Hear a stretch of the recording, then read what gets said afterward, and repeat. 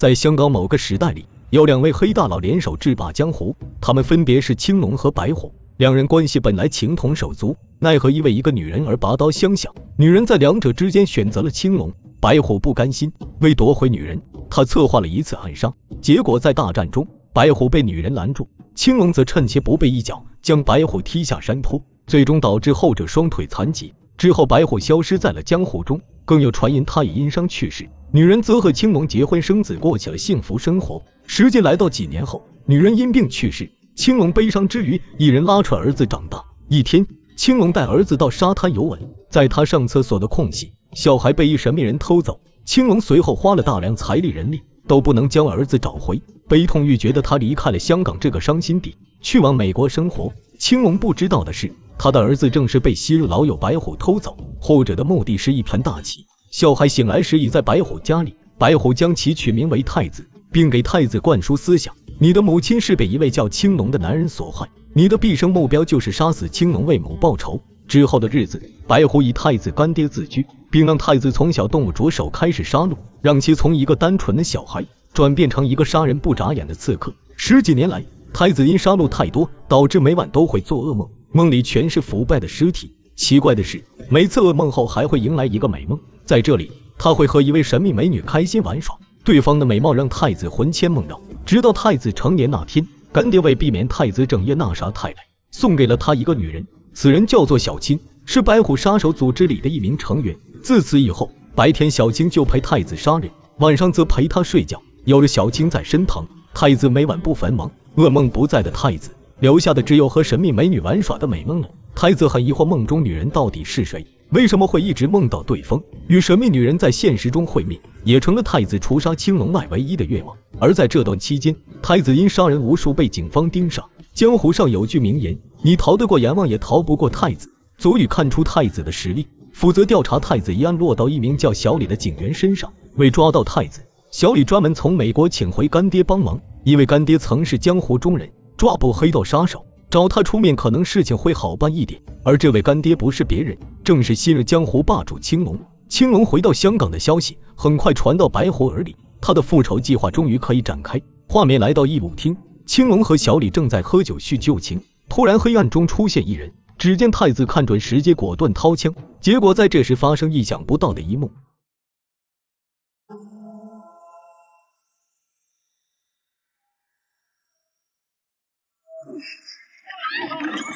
青龙因看见梦中情人导致枪法失误，他和小青只能仓皇逃跑。途中，太子撞见让他魂牵梦绕的人，梦中才能出现的情况发生。奈何追兵在后，太子只能暂别神秘女人。双方这一对是产生不可言说的情愫。神秘女人叫翠儿，是一名夜店舞女。因看见太子相梦，翠儿被警方带走问话。然而不论警方如何问她，翠儿只是回到没看清太子的样子。很显然，翠儿在隐瞒。因为他似乎对太子一见钟情，看到太子这个模样也能一见钟情，可想翠儿的眼光有多奇妙。回到家里，翠儿回想起太子容貌，她将其画在纸上，画到一半时睡意袭来，倒在床上。深夜，太子悄然潜入，他看到翠儿的画后，心里乐开了花。毕竟暗恋的人同时也暗恋自己，这种感觉换做雷哥，我恐怕嘴巴都会笑烂。太子拿起纸笔将画补上。然后再给翠儿整上一幅。感情太子平日里不光练了枪法，还顺便学了下绘画。翠儿醒来后发现了两幅画，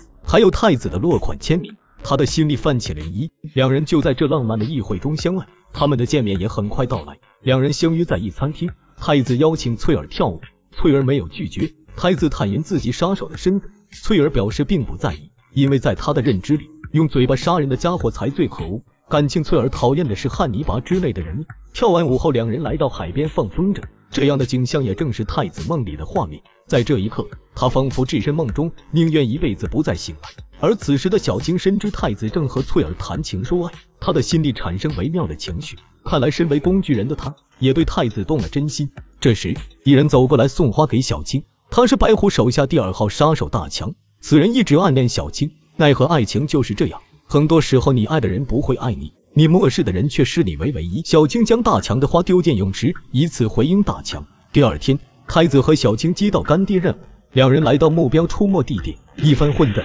太子和小青联手干掉目标手下。但在用枪指着目标之时，太子犹豫了，他仿佛在对方脸上看到翠儿的模样。太子选择放过对方。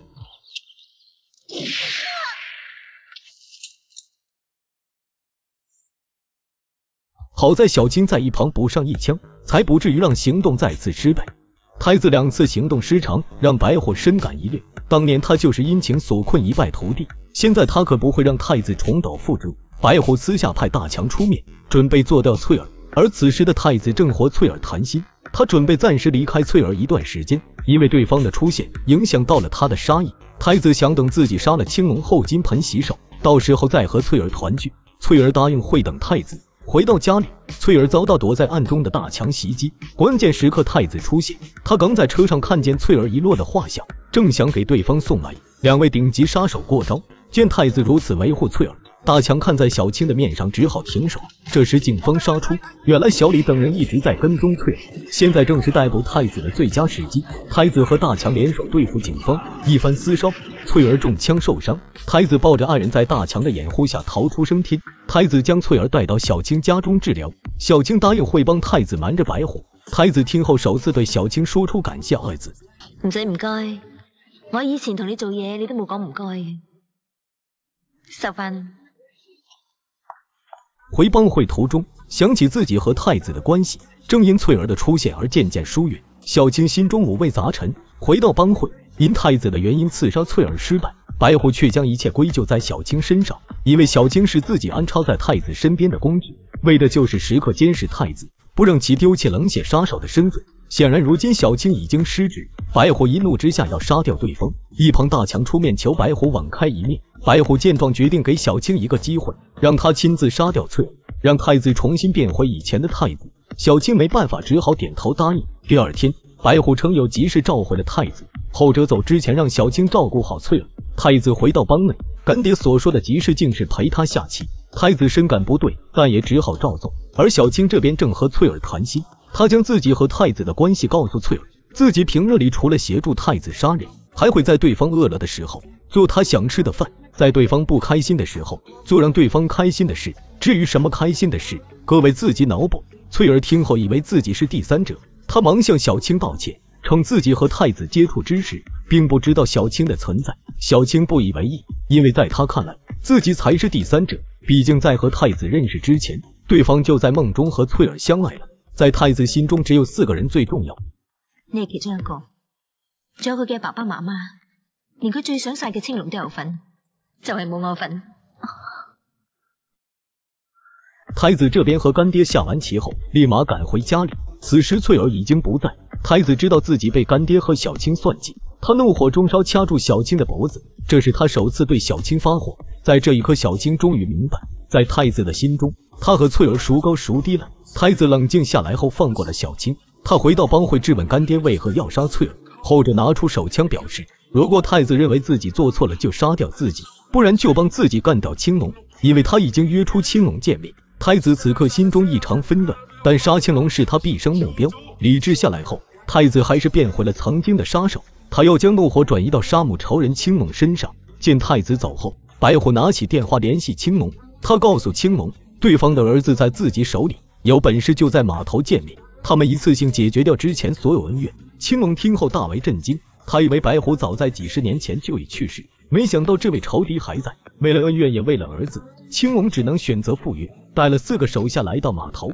青龙还未见到白虎，就被暗中的太子偷袭，四个倒霉手下悉数倒地。太子出面与青龙对峙，他称对方是自己杀母仇人，所以要好好折磨青龙。后者听得不明所以，这时暗中有人开枪射伤太子。原来青龙来之前早就联系了小李，不然也不会傻到只派四个手下跟着自己。看到这，雷哥不禁想问。难道青龙就不怕白虎直接干掉自己吗？果然是艺高人胆大，佩服佩服！警方瞬时包围了码头，但白虎也不是省油的灯，他已安排好了帮内杀手埋伏在现场，双方发生激烈火拼，最终实力还是白虎的杀手们更胜一筹。小李受伤，只能暂时躲了起来。青龙和太子肉搏期间，他突然发现太子背后的纹身，这是十几年前他亲手为儿子弄的。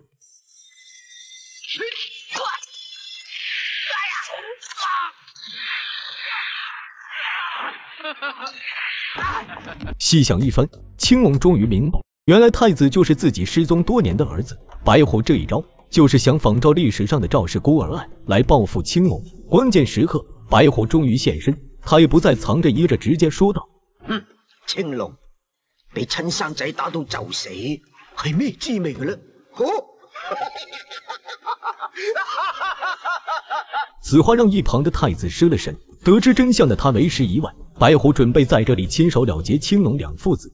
没有，太子，你快走，走啊！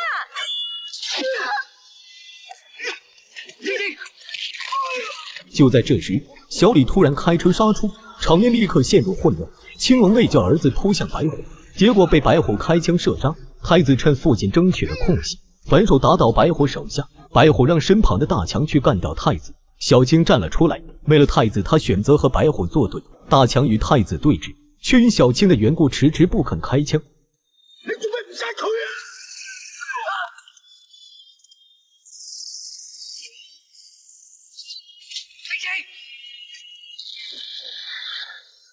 我所做嘅嘢都系为咗你。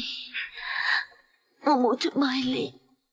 一场混战下来，只有太子大强和小李等人活了下来。小李没有拦住太子去路，在船上，太子抱着小青的尸体黯然落泪。他以前对小青说过，自己这辈子自从跟了干爹白虎后就没再哭过。现在的眼泪证明小青在太子心中绝不只是一个工具人的存在。时间来到数月，太子坐在沙滩上思念着去世的小青。这时一人走来，竟是去世的翠儿。后者告诉太子。小青当时没有动手杀他，而是让他等太子杀了青龙后再出现。太子明白了小青的良苦用心，翠儿依偎在其身旁。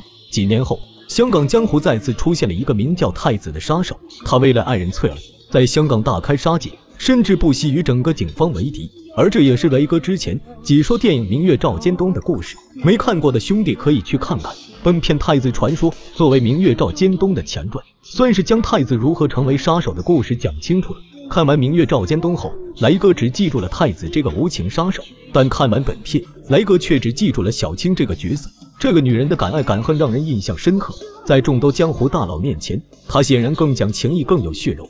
反倒是太子成了一个纸片人，完全没有自己的思绪和想法，全程都是工具人般的存在。可能这也跟太子从小的经历相关吧。而翠儿就更不用说了，和《明月照尖东》一样，在本片中她仍是一个花瓶的存在。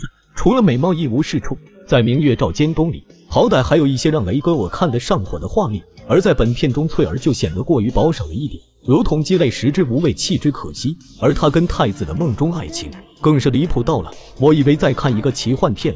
那么现在问题来了，你觉得本片塑造的最好的角色是谁？欢迎发在评论区与我讨论讨论。好了，今天的老港片就讲到这了。我是一个是要讲完所有经典港片的解说，喜欢雷哥的话，麻烦点个关注，我们下次再见。